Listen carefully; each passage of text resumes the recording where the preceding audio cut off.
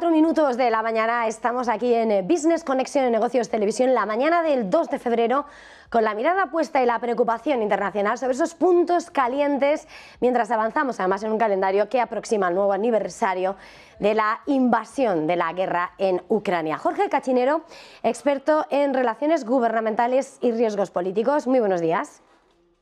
Buenos días, ¿cómo estáis?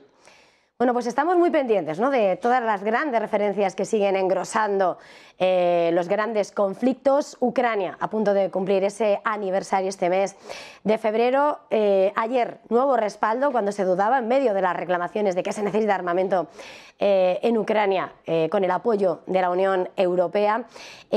quería preguntarle, por empezar, ¿cuál es el punto en el que nos encontramos? ¿Cómo se puede analizar en este punto esa guerra? Bueno, yo diría que Occidente ya está reconociendo que ha perdido la guerra en Ucrania.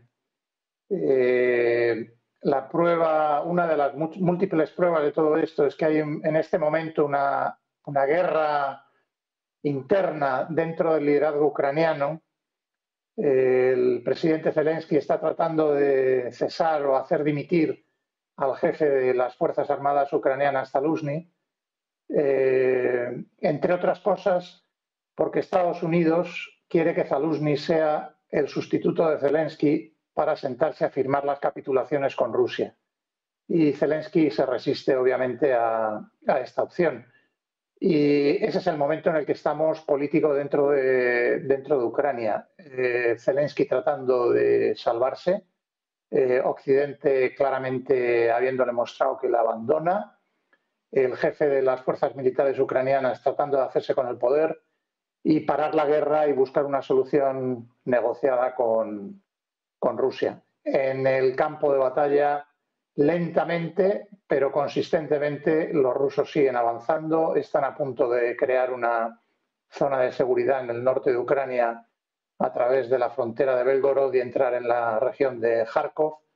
Y los analistas, los círculos gubernamentales de la OTAN y de Estados Unidos como, digo, como he dicho al principio, reconocen que, ha sido una equivocación pretender infligir una derrota estratégica de Estados Unidos a Rusia, que la guerra está perdida.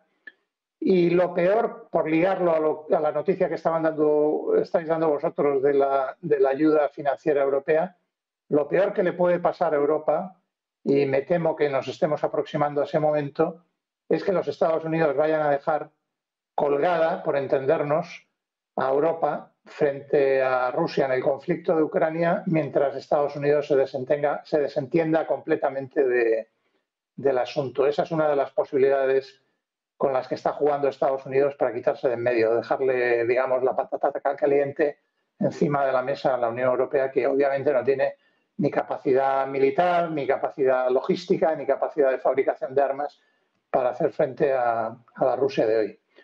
Por lo tanto, espero espero que nos estemos acercando al final y no va a ser un final eh, bueno para Occidente porque ha sido un error monumental el haber, provocado el inicio de este conflicto en, Europa.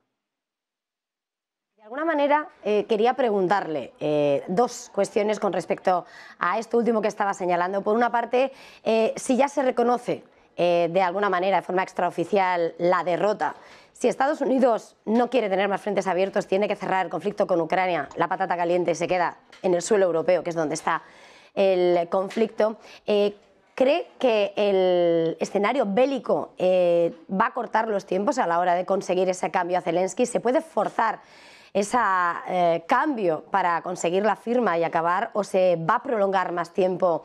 ¿Va a ser fácil, por lo tanto, acortar el tiempo bélico o se va a extender eh, por ese apoyo europeo?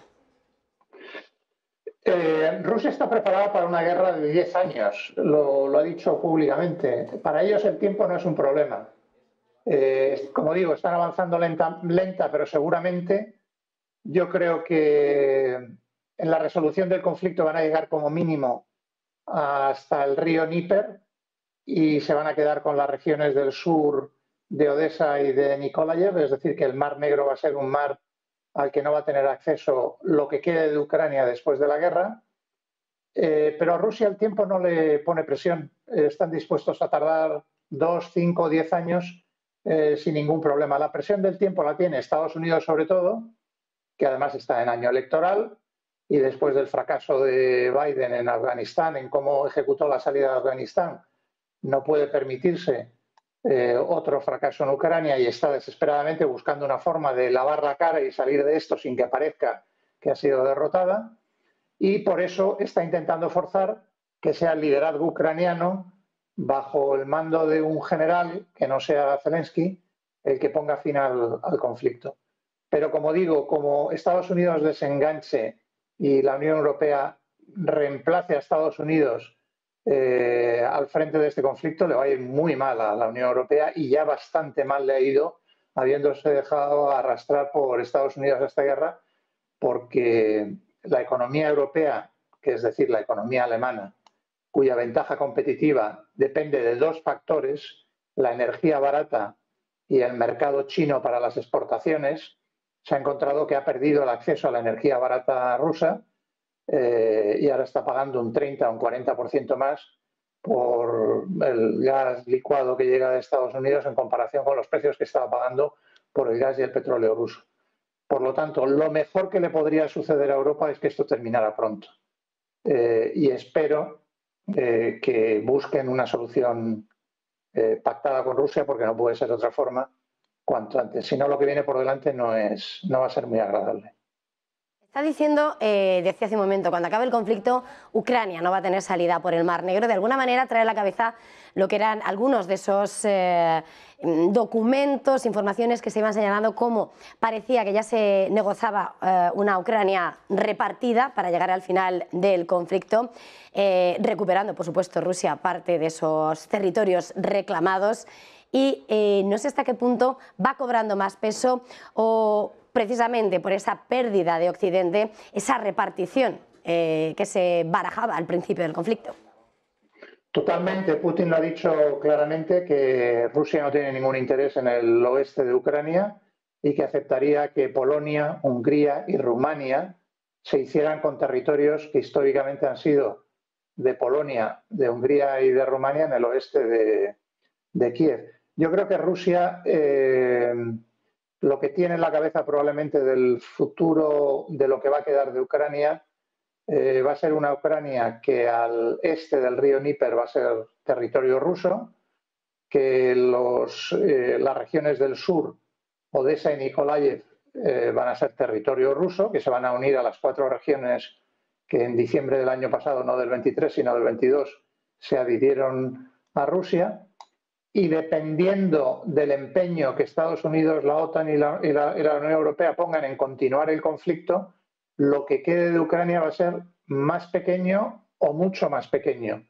Eh, si la guerra dura mucho más, lo que quede de Ucrania será mucho más pequeño. Si Occidente consigue que Ucrania se sienta a negociar ya o pronto, eh, Ucrania será más pequeño, pero no mucho más pequeño.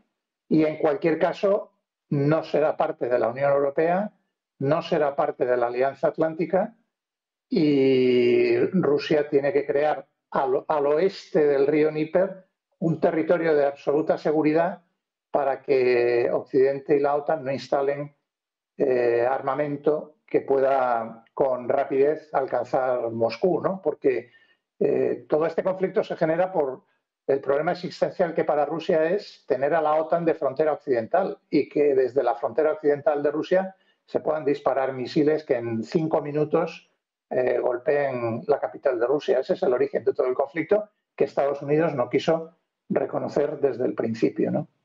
Y Rusia, por lo tanto, tiene que crear suficiente espacio al oeste de su frontera actual para tener la tranquilidad de que no va a ser atacado eh, sin capacidad de reacción. Ahí es donde quería mirar de alguna manera, porque estaba señalando cómo eh, Occidente ha perdido la guerra, eh, que Europa pierde, sobre todo porque Alemania, que era la dependiente sobre todo de esa, el éxito de su economía, la energía barata y de China, con los cambios de la diplomacia internacional que desencadena esta guerra, y el negocio energético que llega por parte de Estados Unidos, claro, ganador, las reglas del juego cambian. En ese escenario que está dibujando de alguna manera, quería eh, preguntarle, eh, ¿cuál es el escenario, las nuevas fuerzas que eh, van a dividir ese día de que se ponga fin a la guerra.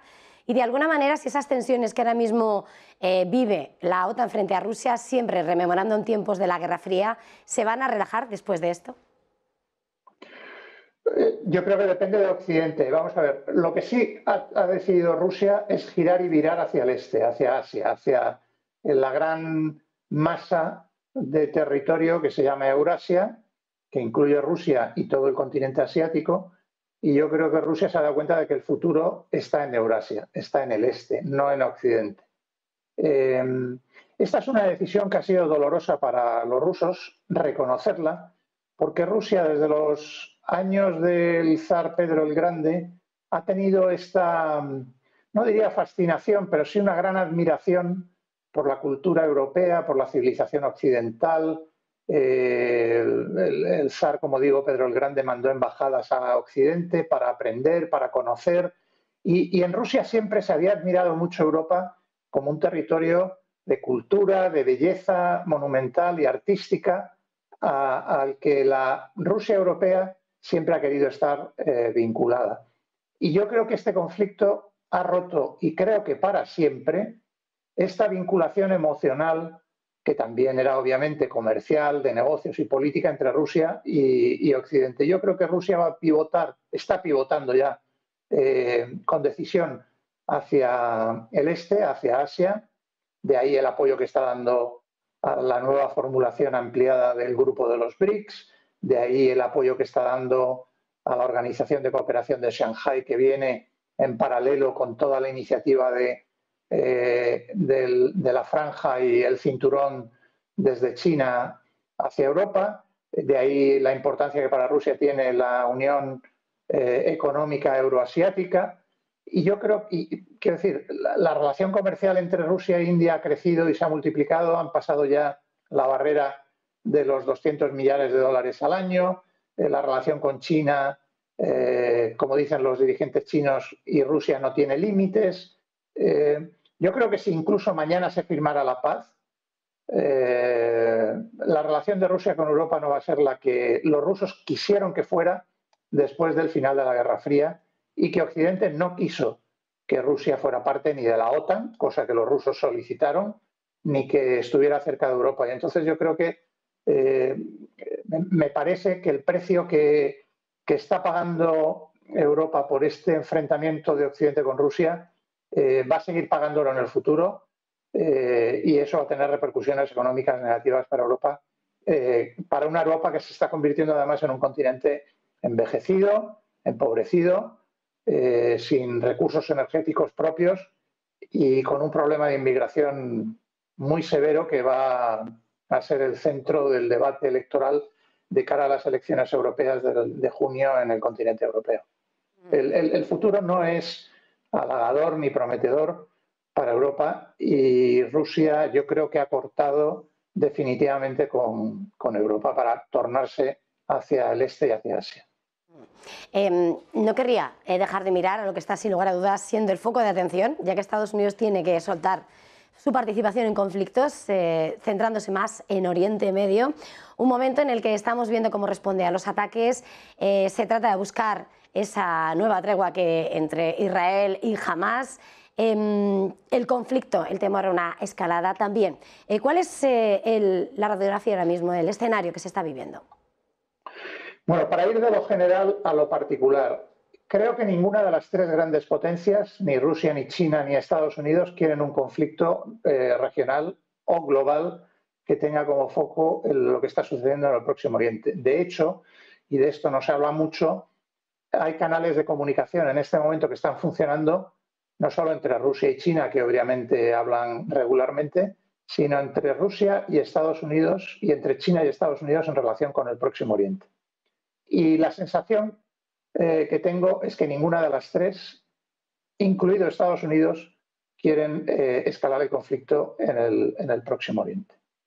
Luego, en un escalón más eh, regional, desde que estalló la, guerra en Gaza, ninguno de los grandes actores regionales, ni árabes, ni el gran actor persa, Irán, y en los árabes incluyo a Egipto, Arabia Saudí, eh, y las monarquías del Golfo, ningún país árabe del, Próximo Oriente, ni Irán, quieren una guerra regional. Yo fui muy pesimista en los primeros momentos del conflicto, pensaba que iba a haber probablemente un estallido de una guerra eh, regional, pero esto comenzó el 7 de octubre, estamos a comienzos de febrero eh, y yo creo que ha habido mucha contención por parte de todos los actores regionales, árabes, persas y los globales. Y lo que queda por resolver entonces es, digamos, el conflicto en Gaza, que creo que se está aproximando al final de lo que los israelíes querían eh, con su operación militar. Eh, de los 30.000 combatientes que jamás tenía antes del 7 de octubre en la franja de Gaza, Israel ha liquidado a 10.000, hay otros 10.000 que están heridos y fuera de combate, Israel ha detenido a 2.500. Prácticamente el 70-75% de la fuerza militar de Hamas está desmantelada y además las 24, los 24 batallones en los que Hamas estaba organizado están desconectados, ya no funcionan como una fuerza militar organizada. Sí es cierto que hay todavía resistencia, pero más guerrillera que eh, militar.